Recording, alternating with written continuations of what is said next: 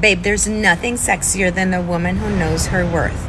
Begging, chasing, pleading, not the vibe, boo. It is activating needy energy, and needy energy repels. There's a reason you're stuck in this dynamic, oozing, needy energy. It was not your fault. But until you do the work to clear it, you will not be able to step into your full worthiness and attract to you the soulmate love that you deserve. You can learn to shift